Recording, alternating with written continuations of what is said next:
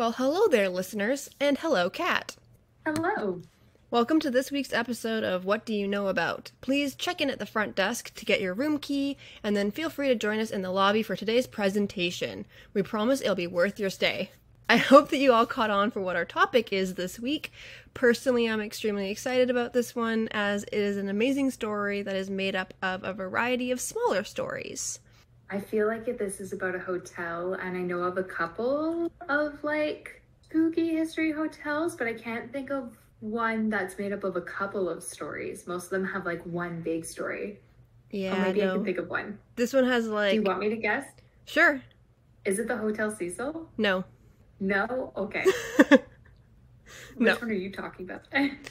All right, so some of the women that we talk about today may become episodes of their own. So if anyone catches your ear, please feel free to get in touch with us through our Instagram page to let us know who you want to know more about. But without any more chit chat, Kat, I want to Yes. know what do you know about the Barbizon Hotel? the Barbizon Hotel. That sounds familiar. It sounds familiar, and I'm. Was that the one where the man and his whole family died? No. Because he had because he killed himself and then his wife had all the children jump out of the window because they were in a cult Mm-mm. nope different one okay That is Apparently not there's too many within this hotel's history. oh no is that another one that we should talk about another time maybe Possibly. I have another hotel that I want to talk about. which one I'm not telling you. Surprises for later no i episodes. want to know So, the Barbizon is isn't just a historical hotel, um, but it still runs today as the Barbizon 63. Um, for a brief stint, it was also known as the Melrose Hotel. oh okay Now, it is technically a condominium and was gutted from the inside, but the building itself is protected under landmark preservation and is on the USA National Historic Record. It's located in New York on the Upper East Side of Manhattan. Okay, so it was built in 1927 to provide housing of a sort for the influx of women who came to New York to work in the newly built skyscrapers. Each and every one of them had to get past Mrs. May Sibley. Sibley was the assistant manager and the number one face that the girls would see at the front desk. She was the one who'd make sure that the new girl was presentable and had good references attesting to her good moral character. okay Um, each girl would then be secretly given a letter code an A for those under the age of 28, a B for those who were between 28 and 38, or a C for those who were considered to be quote unquote over the hill at the time. oh my gosh So in like eight years, I would be considered over the hill, basically. oh my word and that's at what like 40 Uh, so that would be at like 39, I guess, would be considered over the hill because it was because the B grade was for those between 28 and 38. 39 Yeah. That's okay. I feel like there's like a whole demographic of people that they're missing out on doing it that way, but I don't know. Um, so any man who tried to get past the lobby would be laughed at and scolded by Sibley, as only women were allowed anywhere past the first floor and like the lobby and even in general of the first floor. Um, a few men claim to be been up to see the rooms, but is highly unlikely as security and the rules were very strict. Um, this hotel was a safe haven for the naive young women full of dreams in a dangerous big city, and nothing was going to make that statement untrue. This is starting to sound more and more familiar. Wait, I think I I think my favorite murder talked about this.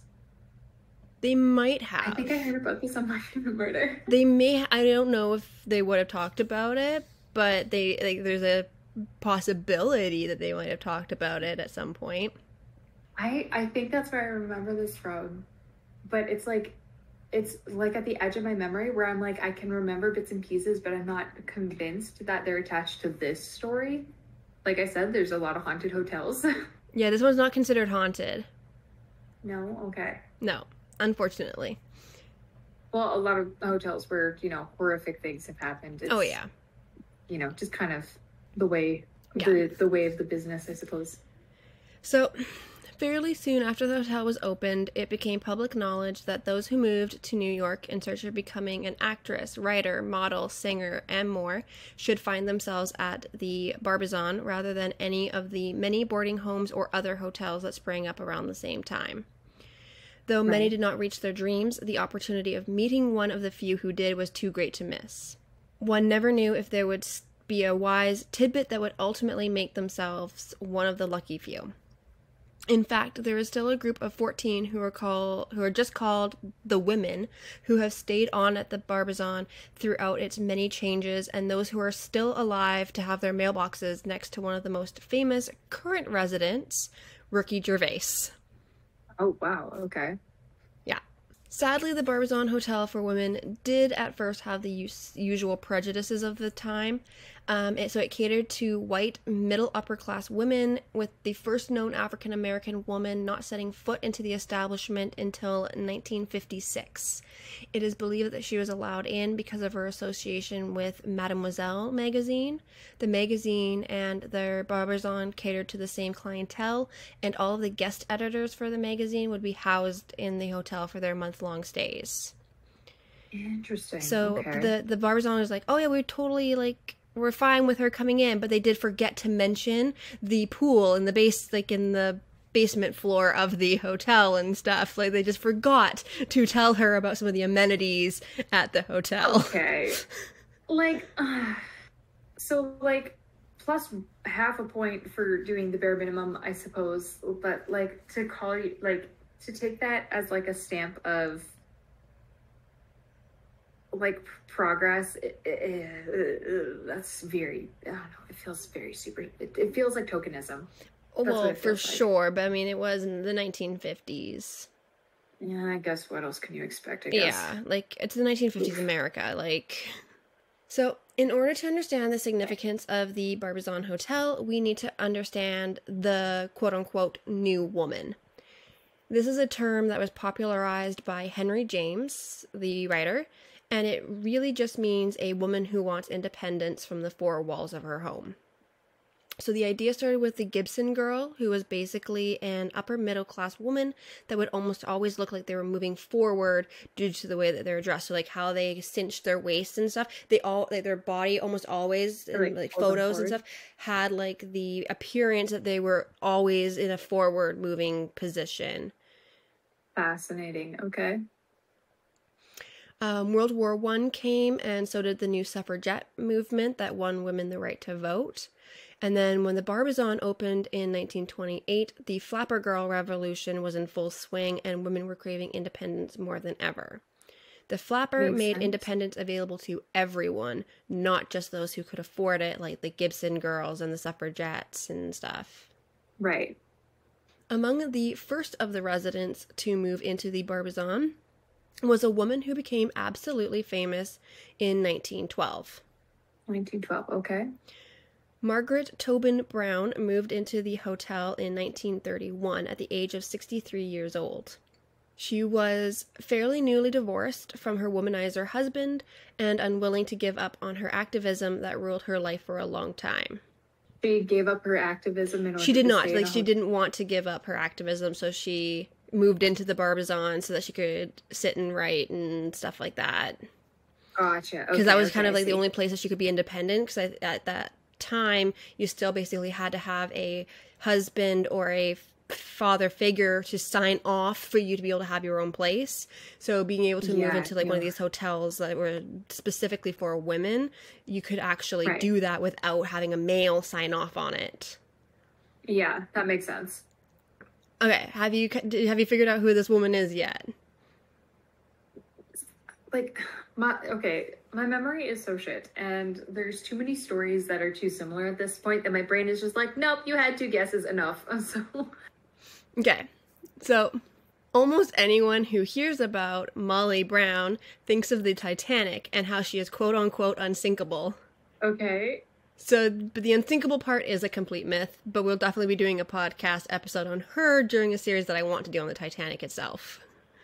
was she on the Titanic? Yeah, it's the unsinkable Molly Brown. So she was on the Titanic and she actually the men on the boat on like the lifeboat that she was on like weren't rowing quick enough, so she took over the oars and stuff. Like according to legend, That's an amazing. because she's like, "You guys aren't like getting us away from the sinking boat quick enough. Like we're moving." Hang on, there's a Google search here that just says how many shipwrecks did Molly Brown survive? Was she in more than one? Is she okay? legend legend was just the wise there's a lot of myths around her and it actually kind of started with like the musical um the unsinkable molly brown and like newspaper headlines that there's actually a lot of myths around it which we're gonna go into Imagine surviving like a horrific culture changing event and people write musicals talking about how you didn't die. Like and it's so catchy too. It just it almost seems like it's like like like not giving it quite as much weight as it should. Like she she still almost died. Like the unsinkable Molly Brown sounds like a circus act. You know what I mean? Like yeah but and her life itself is just insane that people Sounds don't it. talk about because they only talk about because they only talk about her surviving the one event. yeah Interesting. Okay. Yeah. So it is because of Margaret's fame that we are that we are lucky enough to have a good peek into the amenities that the Barbizon had for its time. One example is found in a letter that she sent a friend where she is absolutely delighted to find that every room has a radio. Okay. Class and price didn't fully have a say in the Barbizon, so Margaret had one of the best rooms, but it was just as modest as the rest with a single bed, small desk, chest of drawers, and an armchair. One could Oh, wait, appear were radio- Sorry, were radios still a brand new thing at the time? They were fairly new and it wasn't common at that point to have a radio in like every home. But at the Barbizon, like every single bedroom had a radio that was kind of like in the wall just above the bed that you could Gotcha. Whether yeah. like whether it was a cheap room or not. Yeah. Okay. no okay. matter whose room it was, every room was the same. It just that maybe like your Mm, location in the hotel was a bit better. That's so hilarious because now when I see a radio in a hotel, I kind of chuckle to myself about it, about it being kind of old fashioned. Yeah, no. That was like a huge selling point at that time. right. Okay. Um so yeah, That so one could apparently literally open and close their door without having to leave the bed, which honestly I'm super here for some days. Wait. How? like you're so tightly packed and like, like your room is so like was small and tight where it's basically like yeah you've got your single bed your small desk your chest of drawers and an armchair and stuff right but like your bed was in a position enough that you could literally just go to the end of your bed reach over close and open like open and close the door Oh my gosh. So we're talking like like like that's like a but, like that's a small room then though, right? Like that's Yes. like almost prison cell prison cell. Like not quite prison cell because it's got a little bit more furniture in it, but like it's not that much bigger either then, hey? no And it's one person to room, right? correct Okay. Yeah. I mean, I I guess it's kind of like a tiny home but like an apartment in a bunch of them. So yeah interesting. So, Margaret also pointed out a large tower portion of the hotel to her friend in their letters. This tower was hmm. built to house various studios for the budding artists that would be spending their time in the housing. For a building that was built during the earlier portion of the 20th century, they made sure that each room had the best soundproofing available and soaring ce- ceilings that would give great acoustics. She also made sure to point out the beautiful library that was available to residents, where she participated in a book club. On the lower floor, the Barbizon had shops connected to it. This included a salon, hosiery, dry cleaner, pharmacy, and a Doubleday bookshop. If they didn't feel like it, residents never had to leave the interior of the Barbizon. So like each that of, does sound amazing. so like each of these shops had Right. like the door that would lead into the actual hotel itself, as well as the door that led out to the street. Okay, that that does sound actually kind of amazing. I'm not gonna lie, that's starting to sound a little utopic. Right. Utopic? U- utopic? So I don't know how to say that. In the since the late 1800s, hotel residency was quite common for families and singles. For New York, this was made super easy and possible by the Tenement House Act of 1901. The act made it possible for builders to get around height and fireproofing regulations if housing if housing suites did not have a kitchen in them Okay, so they don't have to follow fire regulations and height regulations. And height regulations, which the height one, I'm not quite sure how the kitchen affects. The not having a kitchen, I can kind of understand some, some of the fire regulations because there's less opportunity for a fire. I can almost understand that logic, but the height, I don't understand the logic. I think because um with some of the, the regulations at that time, if you built a higher than a certain height, if there was a fire, people couldn't. It would be harder for people at the top floors to get out and be more dangerous. Gotcha. Okay, I was thinking of like height regulations to do with like wind uh resistance against the building and like um you know like uh earthquake and like that kind of natural disaster. Yeah, I think that like for like in relation a lot of it was like the like at that point it was like your fireproofing regulations because there'd been a pile of fires um that just swept Right. through various parts of the US and Canada. Like if you don't have to build like a pile of the fire escapes like that you see all of the like like, like a New York building basically all you know like is like red brick fire escape like yeah, exactly. you don't have to build all of that. It makes it cheaper, and then you can build higher and prettier. That still sounds like a real gamble. hmm Like it kind of sounds like the Titanic about not having enough lifeboats for everybody, kind of all over again. Yeah, You should be preparing for the worst no matter what. Like trying to get around that. yeah, you know. So, hotels were built like crazy when this loophole was found. From the more seedy hotels to the most glamorous hotels. The Mhm. Barbizon is looked at as the most glamorous of the women's hotels, but it wasn't the first. So basically, Okay. you had like your sub genres of hotels, right? So you had like your motels where you're kind of afraid to stay in them. Like it's more for like the people who are like super low on their like on the poverty line.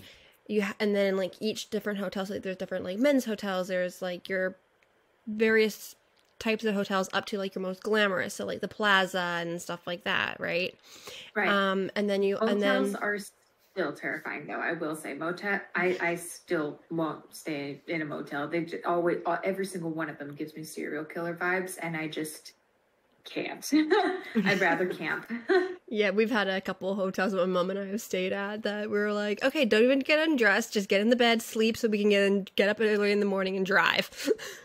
Ben and I booked a hotel one time, and I won't say which hotel it was, but it was a chain hotel, and it was so sketchy. And I heard people screaming at each other in the middle of the night, like through the walls, like in the hallway, and it was like so sketchy. There's water damage on the ceiling. They had like a jacuzzi under the water damage, and it was like ah, mm, yeah, it's like everything about this feels bad. right. I barely trust like decent hotels to be decent until I get there and see the place myself. Yeah. Um, but yeah, so then you also had the women's hotels, which were literally just hotels for women only, basically. Right, Um, so which the I kind of understand. Yeah. So the first um, was the Martha Washington in 1903, and it was built so that women had somewhere to go no matter what. At the time, if a woman showed up after 6 p.m., she would be turned away unless she was carrying a large, heavy trunk because hotels were trying not to cater to possible prostitutes. Okay. Um, so then, like, even Where upper were class. they supposed to go? Because anywhere like else basically like after 6 p.m are, after like- 6 p.m if you just walk in with like your purse or something or like a smaller bag they're like you could be a prostitute it's a it's the time for sex workers to So come out So strategy would have been for a sex worker to just have a suitcase with her, yeah full of anything. Yeah. So like even upper class women admitted to preferring to staying in train stations rather than risking the embarrassment of being turned away just because of the time that they arrived at a hotel which is how like these women's oh. hotels really started Okay. I but like could you imagine those like is- one of those things is significantly safer than the other, though. I have a lot of questions. Like it's I, I think it, that would be one of those situations where you kind of just got to set your ego aside and just like try. Not at that point. If you're an upper class woman, like your reputation was everything. I mean, fair because that's like the only thing you were allowed to own for yourself, and even then, mm, but like, mm, Yeah. I don't know. I don't know about that. That seems that seems like a sketchy decision. I don't. Yeah. So, what the Barbizon had that the rest of the women's hotels didn't was their clientele. Okay. The other hotels all cater towards the working woman or your upper, like already upper class woman. Sure. So these, like the working women, were basically the ones who came to the city because they wanted secretarial jobs, etc. Right. Those who went to the Barbizon were the ones who secretly or not so secretly wanted to be artists of some kind. It Right. catered to dreams of glitz, glamour, and ambition. Nice.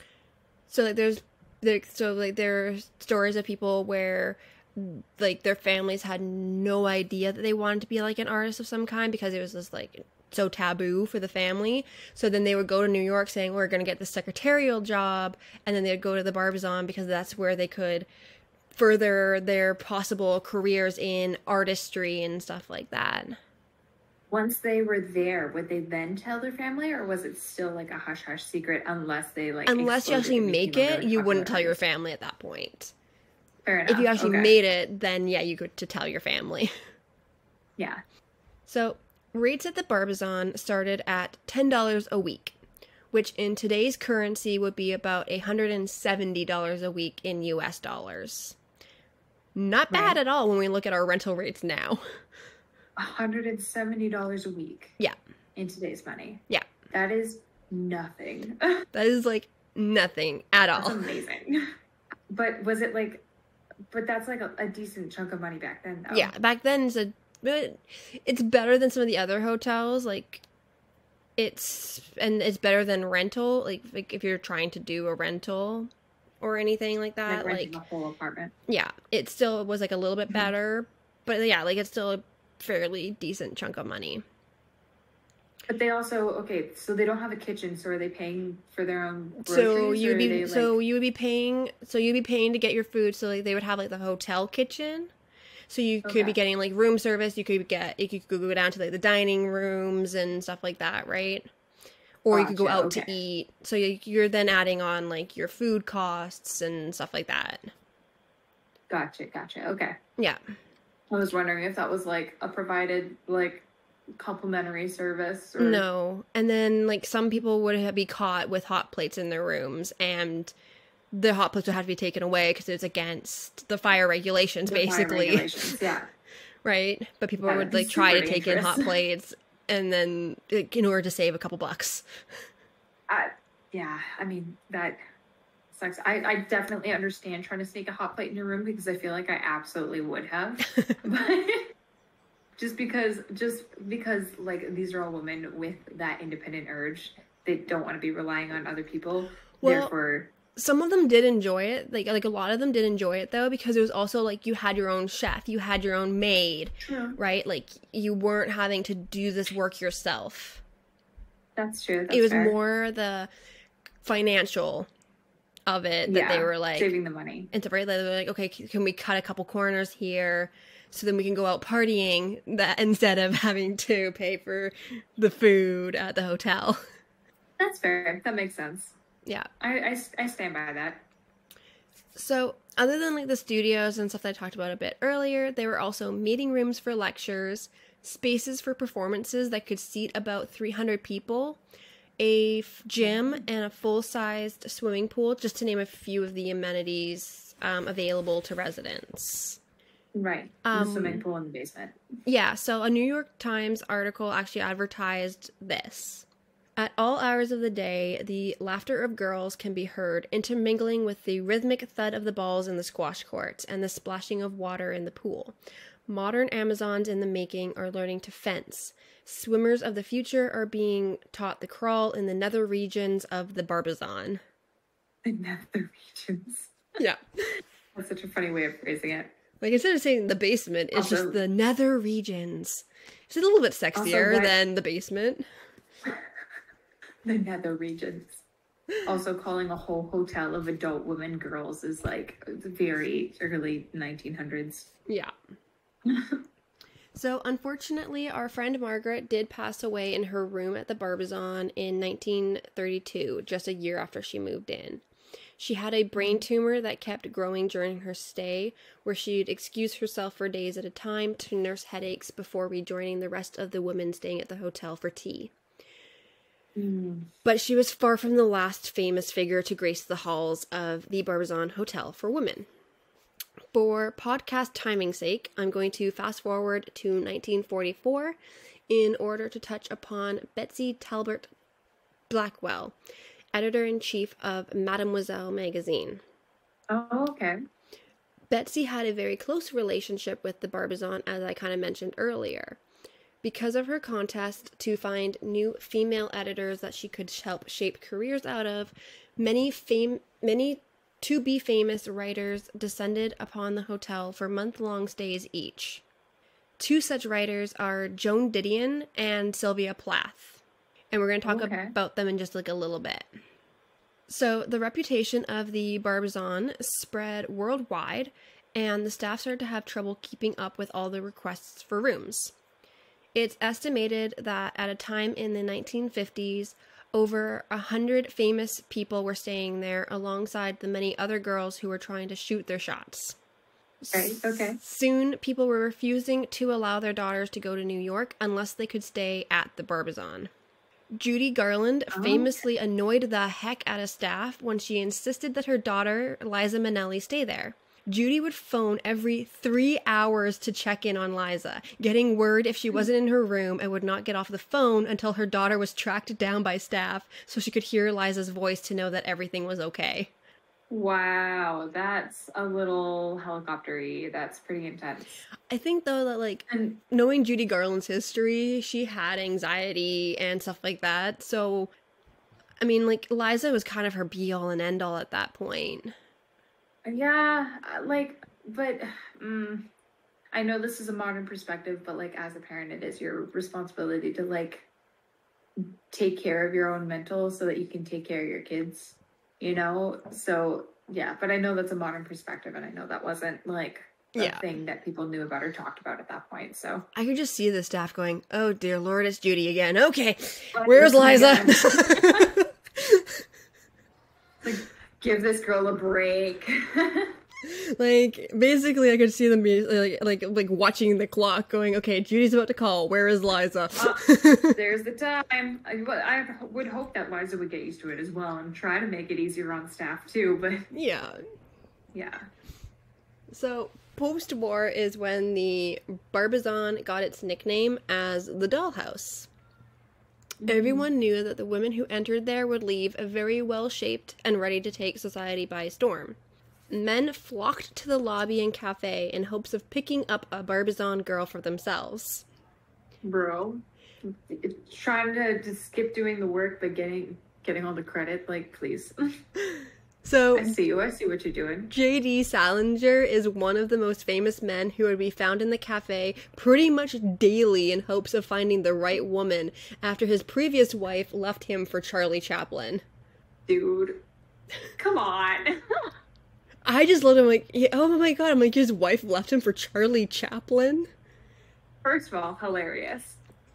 Like that Well, just and that just the- goes to show that funny guys pull. But So, also The author that, um, the author of the book that I was reading for like some of my research on this, she even said that his, that Charlie Chaplin was funny, J.D. Salinger was not. This is what I mean. Funny guys make good husbands. That's like, you know, that's just common knowledge at this point, or it should be. But even funnier is that he usually didn't even introduce himself as himself. Instead, he would tell the girls that he was a goalie for the Montreal Canadiens because they found that even hotter than a writer. Oh, please. Oh my gosh. Okay, so. All right. So, not only are you hanging around this hotel trying to gain notoriety by dating one of the women who lives there, but also you're going to lie Yeah. to get into that relationship. Well, and, like girls would come back up and be like, "Oh, I just had this lovely date with the with this man that I met in the cafe, and he's a goalie for the Montreal Canadiens." And then And the other girls would be like, "Oh, I've had a date with the same guy." He's like, "Oh yeah, he was a very nice guy. Like he was such a sweet guy down there, isn't he?" like Oh my gosh. Was he like an established author already at this point, or like? I'm not sure if he was like established established. He might have been. He might have had like a couple of his novels out, but yeah. Gotcha. Okay. I just find it hilarious that he was like, "Oh yeah, I'm a Canadian." a Canadian goalie. For the Montreal gets hit in the face a bunch? For the Montreal Canadiens, you know who gets hit in the face a bunch? Goalies, hockeys. yeah. So Especially at that point. Have they invented the hockey mask yet? I think so. I, th- I think it was. I think. I think it was like still in that rudimentary. Um, for the yeah, goalie mask, that looked like a um. like the little like Jason was mask. coming after you. yeah, pretty much. So, Carolyn Schaffner, she went to the Barbizon in 1947 at the age of 19 to escape her role as a housewife and found a modeling job within a week when a photographer spotted her in the hotel. Detouring back to the hockey mask thing for a second, I just I checked and it's it wasn't invented until 1959. So like So, kind of, he's around the same ish time then, probably. Okay. Okay. So there's less of a possibility that he got smacked in the face a bunch. Okay. Possibly, yes. I just I feel like you would be able to tell if someone at that point was an established goalie for any Canadian team because their face would be broken. Um like I don't know. Sorry. Anyway, enough about hockey masks. Back to your story. Um, so yeah, so Carolyn then met her neighbor, Mm. another young woman who had hopes of becoming something more by attending one of the acting schools in town. Okay. That neighbor and soon to be best friend was none other than Grace Kelly. Okay. Grace is another person that we're going to do a full episode on because her life is just fascinating in its own right. But for the purposes of this episode, I will reveal that Grace's stay at the Barbizon was paid for by her parents. At you know, I would expect no less at this point. It sounds like it's become a pretty classy joint with a pretty good reputation. Well, so her parent, like, so one of the things with her parents paying for it was that they were constantly like in her face and try and basically being like, "You should just come back home. Like, this isn't going to go anywhere. Like, you like, as a right, but like, we'll pay for you. But if you can't get this done within this amount of time, you have to come home. We're going to stop paying." That kind of a thing. I mean, that could be fair. Yeah. But she found herself getting quite jealous of her friends who got their independence and were able to pay for their own lives, even when it meant spending hours at their desks looking at ways to cut costs so that their money could go as far as possible in an increasingly expensive world. That's also fair. That also makes sense. But I mean, she ended up going from Barbizon resident to Academy Award winning actress to Princess of Monaco within like a few short years. Yeah, that's true. That's that's pretty wild. Like she didn't dramatic need to be worried about anything. Like yeah, no, like she's fine. so if any of our listeners have read The Bell Jar by Sylvia Plath, then you technically know a lot about the Barbizon Hotel. The classic novel is entirely based on her time at the hotel, peeling back the curtain to show the drama that would happen behind the glittery facade, much like how Truman Capote did in his stories.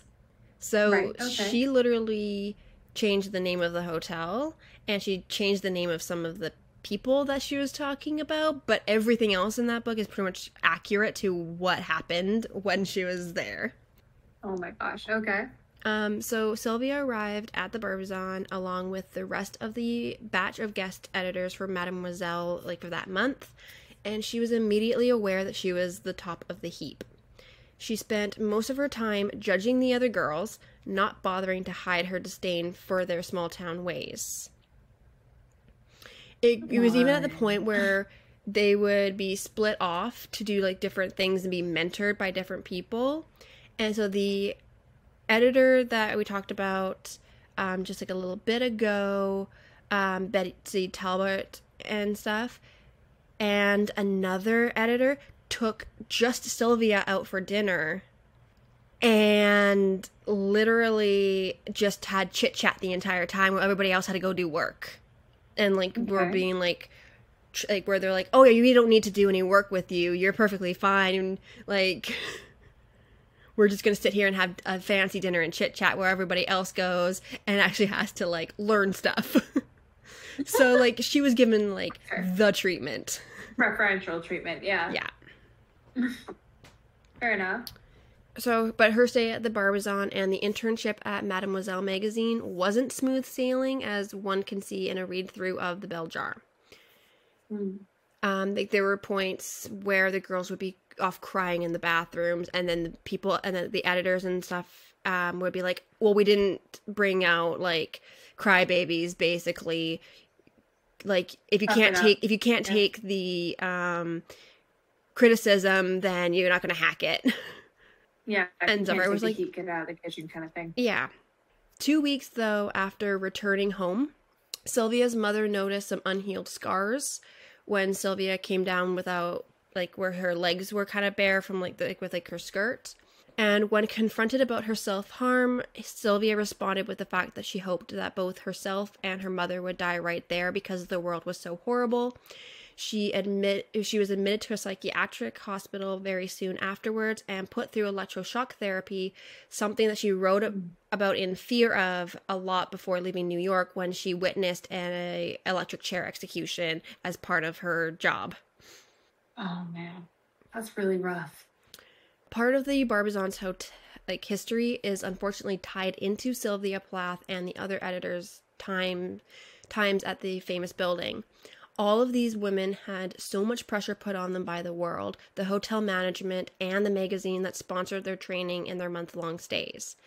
Sadly, the pressure got to Sylvia the most, with her first suicide attempt being just after her arrival home and ultimately ending her own life after multiple attempts. Oh, Many of the other girls worried about their own mental health problems, with one of them admitting that Sylvia was the one who kept them alive because they didn't want to be remembered as quote unquote the other one who killed herself. Oh, I mean, if it keeps you going, it keeps it going, but that's a tough perspective. Yeah. Like it's just like a total insight to the How pressures put on a woman at the time. Yeah. Well, and it kind of like makes sense that it would grow into this sort of monster because this hotel its entire fame is based on the success of the women who live there yeah. after having lived there. So it makes sense that that's the way that the cycle is going to go, that it's going to end up pressuring these women into doing better and better and better constantly all the time. Every single one of them has to succeed because the name of the hotel is at stake. Yeah. Like, but that's just. Well, and then like the the relationship between the hotel and this magazine didn't help things at all either because like the magazine right. was just as bad where like the editors of the magazine did nothing to help these girls even keeping a wide berth of one of them because she was on the verge of a mental breakdown after her father died rather than trying to find like a way to assist her through the trauma it was like a, oh you're on the verge of a mental breakdown therefore we're just going to avoid you like you're here for the month because you're already here but we're just going to avoid you and you just go deal with your own shit and hopefully nothing bad happens. That's so awful. Like That's so awful. If you want people to succeed, you have to support them up. You can't just like yell at them to succeed and then expect that to work. Yeah, like it's just a pure lens into that time and like the mental health lack of assistance. Right. Especially for women. Yeah, no kidding. Um, so yeah, but nice. the 1960s saw the start of the hotel's ultimate demise as a women's hotel. Ironically, it was the women's movement that brought it down. Women were noticing okay. a fine line between independence away from men and being hidden away from the world's gender realities. Yeah. At first, it was a safe place for women as they grappled with the circulating ideas that men were blameless in sex and the restrictions on getting access to the new birth control pills. Mm. But soon it needed to be something more and it just couldn't keep up.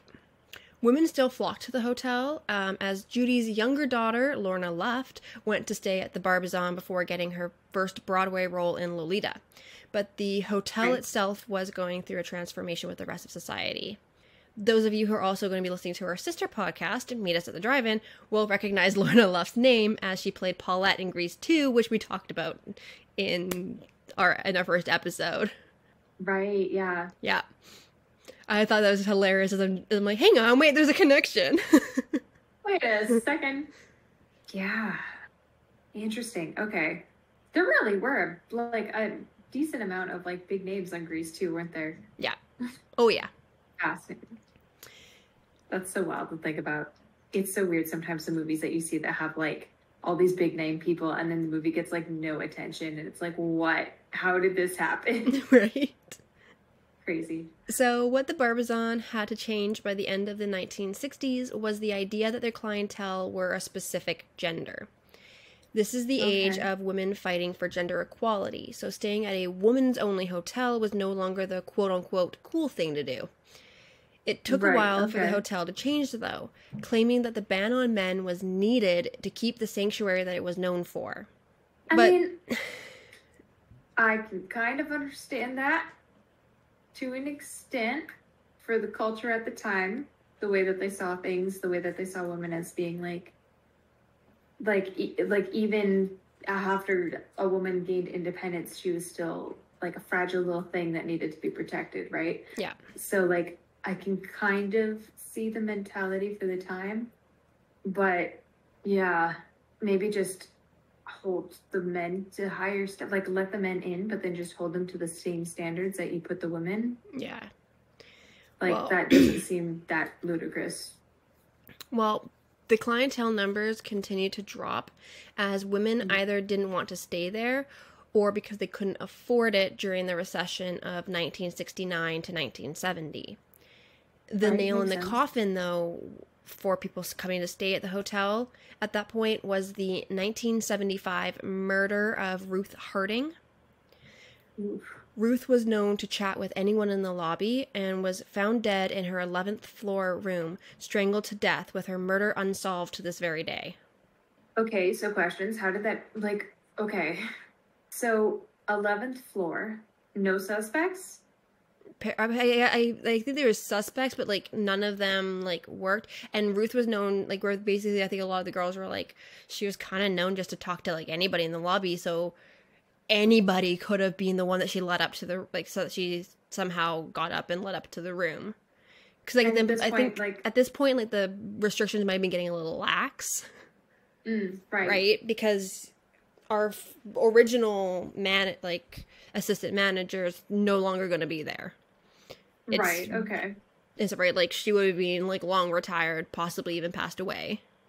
so people are allowed to bring like friends up and now and stuff now They might, I don't know if they would have been allowed to bring friends up, but they might have been able to sneak them up better, like easier. I just imagine this poor lady like inviting some like some person that she just met up for tea because like just out of the goodness of her heart or something and like oof. Yeah. 11th floor. No signs of breaking and entering. No. So she almost guaranteed let someone in and then they stabbed her in the back. Well, not stabbed her in the back, but like, you know, betrayed her. Yeah. Literally strangled her. Yeah. Well, Oof. at this point, New York was kind of changing. Like the people in New York were becoming a like at the like for this point of time, it was becoming a bit more seedier, a bit more criminal. Like you Mm. had more of that underbelly showing up more. It wasn't the it, it wasn't like the full on glitz and glamour that it used to be. Right. Right. Okay. Um, and so the Barbizon had to follow suit with the changes. In 1981, they opened their doors to men and changed their name later on down the road um, to the Melrose Hotel, as I said earlier. Right. So the group of women who refused to leave continued to live there, uh, getting an entire floor to themselves as they lived under a rent controlled agreement that couldn't be broken. Uh, okay. Yeah. If you have a rent controlled agreement, you don't leave that. Like, Yeah. And so apparently like these women would like they couldn't let go of like the old ideas. And so they would come down and try to give like the younger women like their two cents of how they should be what they should be doing what they should be wearing and how they should be Oh, talking to each other and other people and stuff like that right? So they they're basically kind of like yeah yeah okay goodbye granny. By yeah, that the end sounds of nice, it. Karen. How about you go back to your hotel room now, okay? yeah. Oh, Um, there were points where the hotel offered them like over a million dollars to leave, but they did I'd not. But they did not want to leave their youthful glamour years behind. Like they Oh, were so just they too continued high school attached. never left. Yeah, apparently, like their suites and stuff became kind of like hoarder, like like you're like you're kind of like your typical grandma suite that is just stuck Oh, in the uh-huh. past. Even like after like they so they did like a whole gut and renovation of this building, and the woman came back with like to, to have like their like, where they're like okay like you're not like, like where they're like we're not leaving, but we will happily take your renovations, thank you. Oh, you want to give us like our own floor? Great. Is that even like legal at that point? If Apparently. That's, I mean, I guess they're still paying rent, but like, can the owners like not break the contract? Apparently not, because five of them are still living there today. why? So four, so out of the fourteen of them, five are still alive and still living there. And they still are just reliving their glory days from when they were teenagers in the '60s. yeah, Honey, time to move on. They ain't Oh moving on until they're in their coffins. I mean, okay, like like I said before, if you've got a like price locked rental agreement, especially in New York City, it's expensive there. Like, I get it. You keep the cheap rent for sure. Like I like, you know, life is tough, life is expensive. I understand that. But at the same time, the reason that they're doing it doesn't really sound like it's financially motivated. It sounds like it's just they don't want to let go of the nostalgia Yeah. of living this place from the sounds of it. Exactly, pretty much. And in that case, I say, okay, no, wait. Yeah. I don't know about that, especially if you're trying to. My, I wouldn't have a problem with it if they weren't trying to push it on everyone else living at the hotel. I think that's the that's the sticking point. Yeah. Oh, for sure. Um, but yeah, so I only touched upon like a few of the famous figures who have stayed at this location throughout the years, but there have been so many. So a few that people might recognize by name are Lauren Bacall, Joan Crawford, Nancy Reagan, Rita Hayworth, Cloris Leachman, and Frida Kahlo. Interesting. Okay. Yeah. So they had some like big name people, Oh yeah. And all of them were like artists or revolu- revolutionaries or. Yeah. Um, some of the more modern famous people who are male and noteworthy um, include Ricky Gervais, as I mentioned earlier, who has a current apartment in the building, and Boris Johnson. Seriously? Yeah. So I think Boris probably lived there when he was younger or has like a suite as a secondary home because he's actually Okay. USA born to British parents. Is he really? Yeah, he was born um, uh, here in North America. He wasn't born in Britain, but his parents are British. So he could. Listen. Go and become an asshole does too. A lot. that that that does explain some. I'm not gonna lie. I don't want to get too into it, but That explains his Trump tendencies. some of them to makes a few things make sense. That's all I was gonna say. yeah. Um, but like from like what I can see, his main residence um actually looks to be possibly a 1.3 million pound buy to let townhouse in South London that he bought in 2019. Townhouse. Yeah. He's like a major politician. I don't know why, but I never think- expect them to live in townhouses. I think though that like in Britain, a lot of places are like flats, townhouses, semi-detached. Like, I mean, okay, that's fair. It's so a especially in like your smaller- southern London, like in your like London area. That that does make sense. I expected like a Um, full like full story condo kind of thing, but like, yeah, Yeah, for more privacy, you probably true, would do a townhouse. It'd probably be even easier to um, do security for a townhouse, depending on how they do That's their true. security for the British politicians. That's true. That makes sense. It is a much smaller country and it is a lot more like densely populated, so that that that makes sense. Yeah. But yeah. Yeah. So that's kind of like Boris Johnson was I think Boris Johnson was the one that surprised me the most. just like the random just like wait, what? oh how far you've fallen. oh man. That's wild.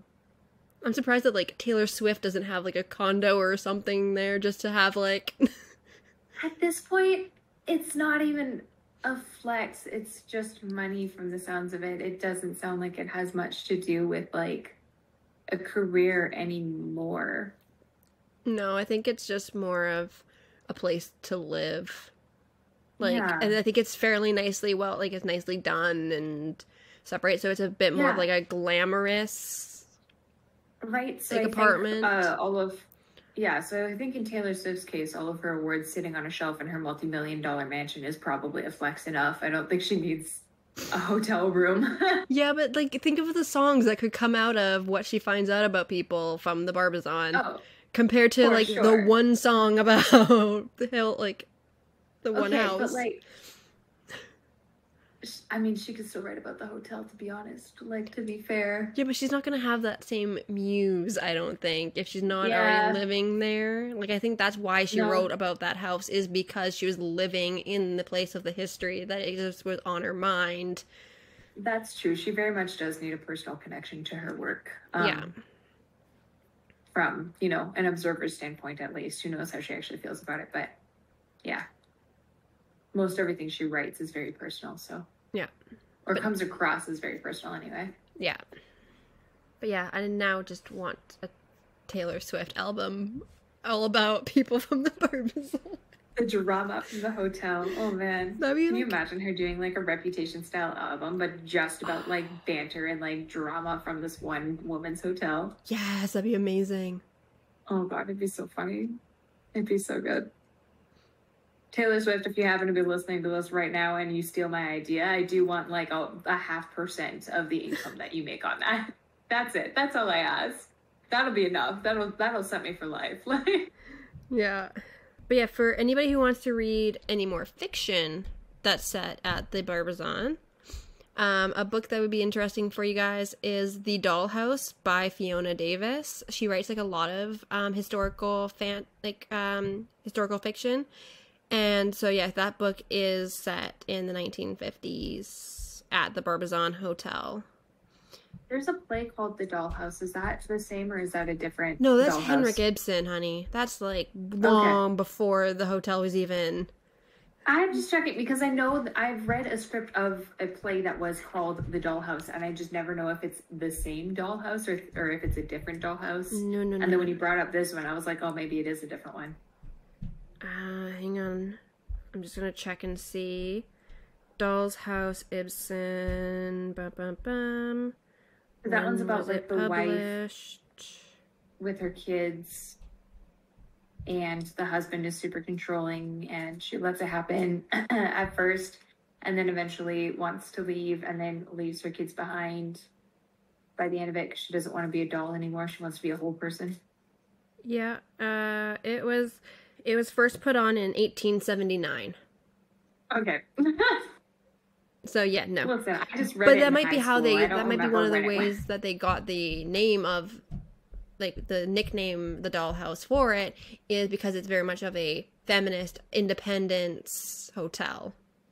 there's a bunch of dolls and they're all in the same house let's call it the doll house Yeah. i could see some like 1920s like schmoozy business dude coming up with something like that Oh, most likely. hmm No guys allowed, just dolls. Yeah, pretty much. hmm But yeah, Interesting. so that's the Barbizon Hotel. Yeah, I think I heard about the murder. Um, I, was think gonna say that's the- maybe what you heard thing- about on my favorite I don't even murder. know if it. I don't even know if it was. If it MFM, was, but it was. But like that's what would be most likely talked about on the podcast if it was talked about. if it was MFM, that would have been the. Uh, that would have been why. Murder. I'm gonna check. I'm gonna search their episodes because I think they have that set up. So for their episodes, you can do a search. Oh, maybe not. Do I have to scroll through individually? Because that is. Not That's not happen. happening for a while. Oh, wait, I'll do a page search. Hang on. How do you spell this place again? B A Yeah. R B I Z O N. Yeah, Gray's not found. Nope. Wasn't MFM. Don't know what it was. I have no idea. There's plenty of YouTubers and people that I listen to that talk about true crime, so it could have been any of them. Yeah, it's a very big possibility. Yeah. Famous hotel and someone died there, so someone talked about it. So someone talked about it at some point. Oh, probably. No. But I mean, you just hit the head on the nail as to next week's episode. We will be talking about a murder. Fun stuff. Is it a murder from the Victorian era? Is that what you and Blacksuit decided on stream? yes. nice. Solid. I just won't tell you what murder yet. It's Victorian era. There's a lot. Exactly. Nobody could catch anybody. Nobody had DNA. no, they caught. I think they caught somebody for this one, but Oh yeah, it's not unsolved. no. Well, I mean, it's possibly So I know it's not unsolved. Jack the Ripper. It's possibly unsolved, though. Possibly unsolved. Yeah. They possibly got the wrong guy. Possibly. We'll learn more about this next week. I'll stop spoiling it now. yep. We will see you guys all then.